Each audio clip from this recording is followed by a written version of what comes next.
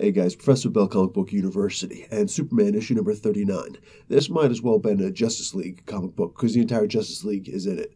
Superman is beating up uh, the demolition team and he's right next to a cancer hospital. And he goes in and he, uh, along with the rest of the Justice League, they decide to take these, these uh, ca- cancer patient kids up to the Justice League watchtower and to hang out on the moon and do all sorts of really cool things like that.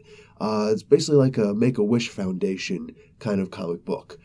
Um, for the most part, we can call this what it is. It's it's like a filler. It's this. It's that. It's whatever. But at the same time, since we're calling it what it is, it's a good, fun, enjoyable comic book. There may even be a part in here where uh, uh, Batman actually smiles.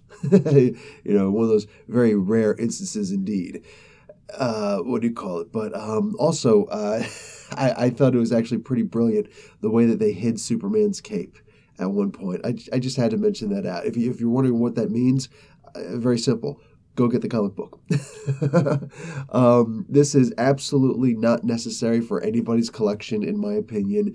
But if you just want a good comic book that doesn't have anything to do with the comic before it or the comic that's going to come after it, I would imagine, or any other comic book related or whatever. And it's just a nice, feel good comic. You don't have to stress out over a storyline or anything.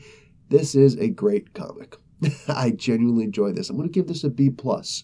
I had a, uh, had an enjoyable time reading this. You know, uh, especially since I'm sick right now, so sick. I'm thinking to myself, how come Green Lantern doesn't show up and get take me for a ride, man? What's up with that? anyway, that's it from me, Professor Bill, Comic Book University. Class dismissed.